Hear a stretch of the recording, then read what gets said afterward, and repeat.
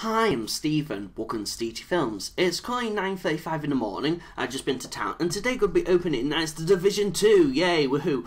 Or in that case, The Division 1.5, because it's mostly the same game, but I still picked it up at either way, despite um, I was a bit um and ahhing since it was first announced, because I did enjoy the first um, Division game, which I mentioned about in a bit, but despite last month it is when it comes to Lou issues, because, you know, we've got, like, Anthem, I should say, but I've mostly been playing that and with my friends at the moment, it gives me a good excuse to play that game from last month.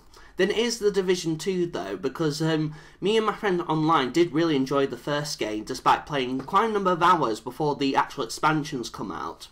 So yeah, again, I was a bit unarring when when it was first announced despite getting this game, but since there's kind of this and that for this month, I decided to pick up the game either way, despite getting the gold edition.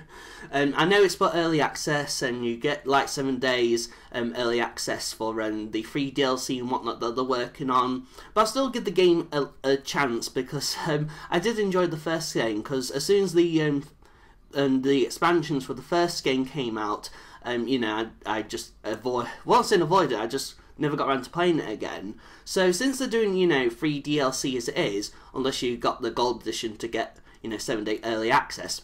But anyway, I decided to get the game either way because I do like my um, grindy, looty, looty shooters, I should say.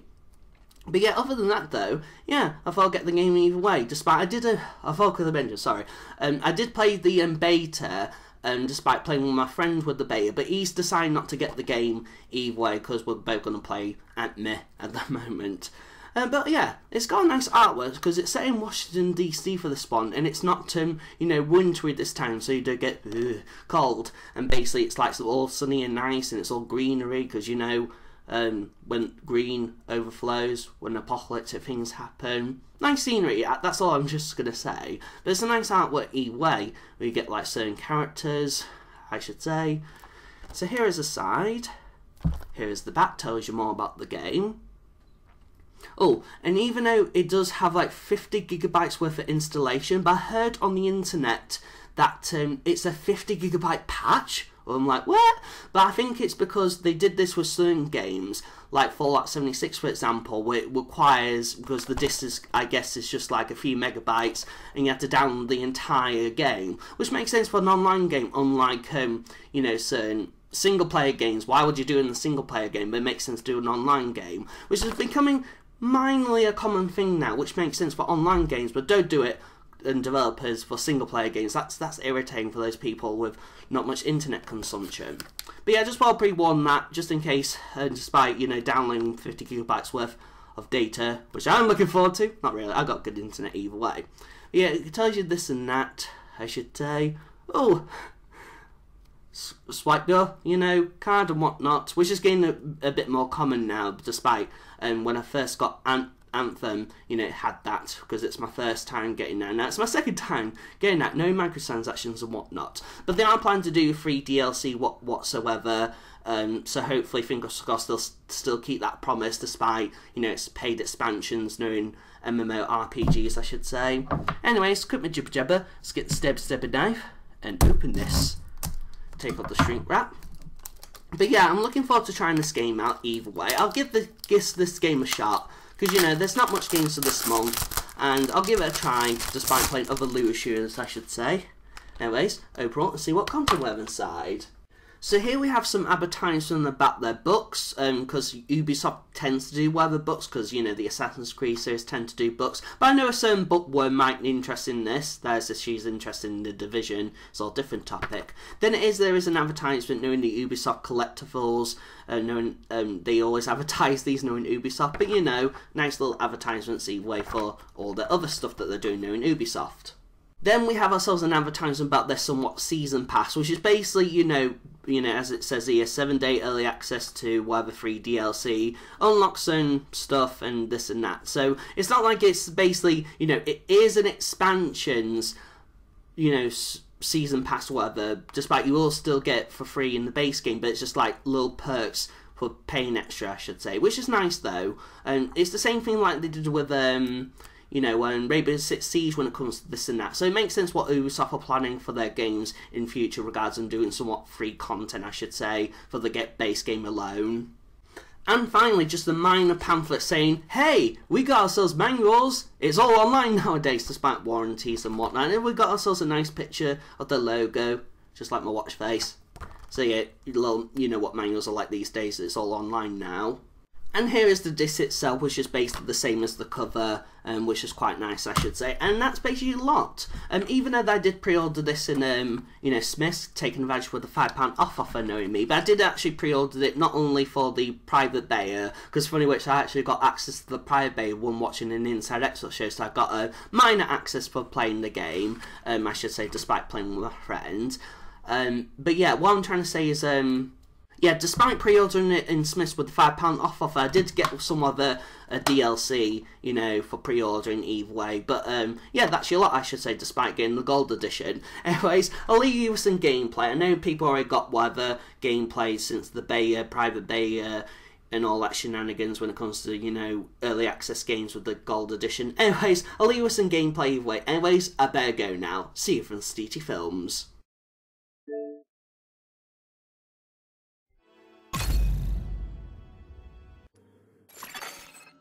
Safe area detected. Hopefully, this next song will take your minds off your troubles.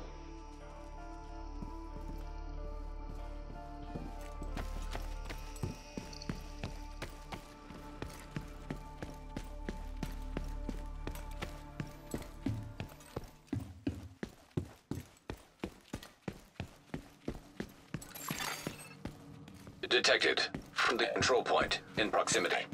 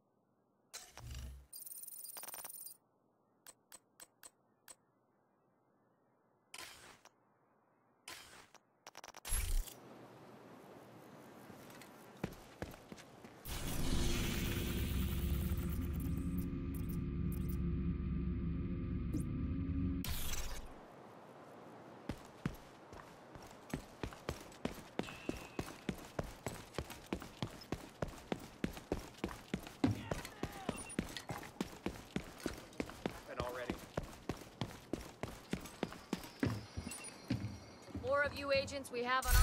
We could really use your help.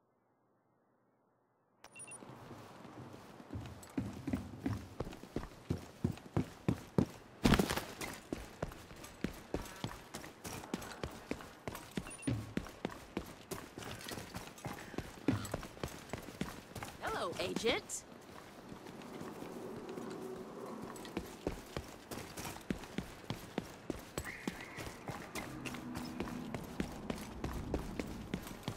Something smells like Bring it on.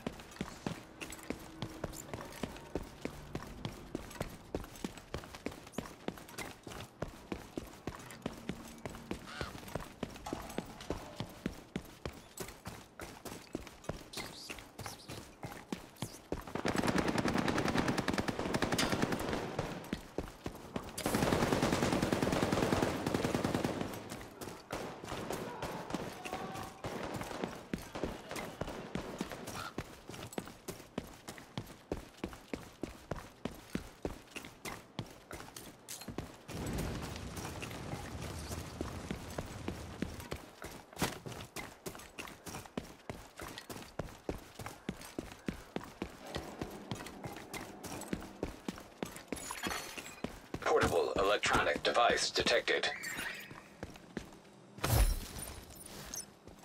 You gotta lay off that crap, Peter. Look around you, for God's sake. I am. Agent requesting backup.